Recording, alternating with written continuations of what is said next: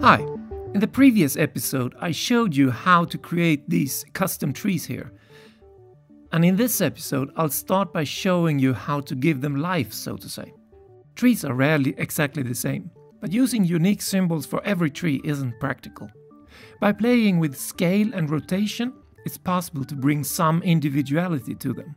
Under the Advanced button, you can add some randomness to the rotation and scale.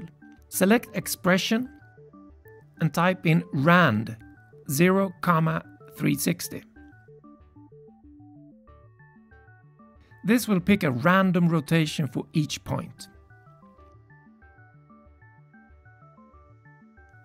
The size looks okay, so here I set a random value between 8 and 12.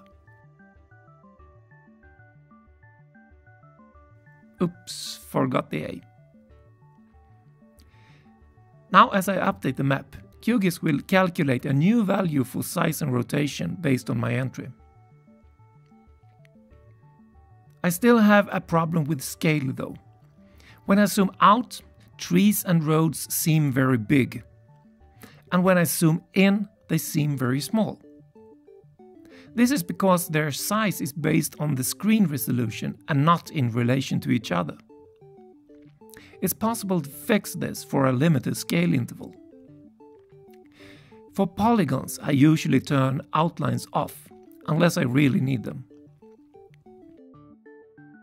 For roads, I change the width from millimeters to map units and adjust the value so it looks good. It's easier to use a projected coordinate system for this. Then I do the same for points.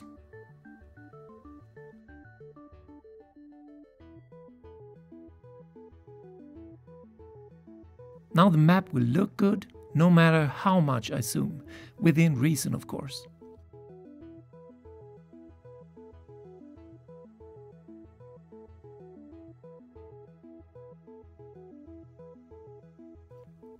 See you next time!